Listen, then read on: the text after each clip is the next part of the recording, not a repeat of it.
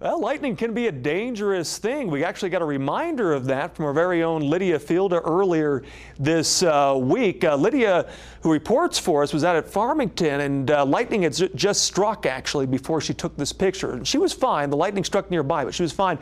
But the residual charge had still was still enough to lead to some hairs sticking up. And she, she had noticed this even before the lightning struck it's something to watch for. If you happen to notice your hair sticking up on your arms, your head, uh, that's a, a good sign that lightning is about to strike in your vicinity.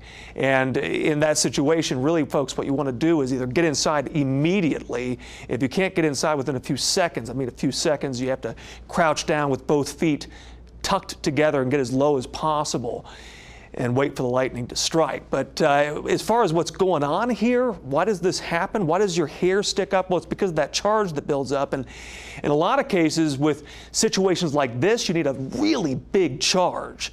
And so that comes from what we call a positive lightning strike. And when you've got that strong but charge, oftentimes the lightning's coming from miles away. And so maybe the storm's still really far off in the distance. You don't think you're even in trouble. Well, with these positive lightning strikes, that's what sometimes will cause that hair to raise up. But you don't want to wait on that. Obviously, if you hear thunder, you want to get inside as quickly as possible, uh, as we, we always tell you when it comes to lightning. Now, you got questions for me, can always find me on social media. You can find me here every Sunday night for some more weather knowledge.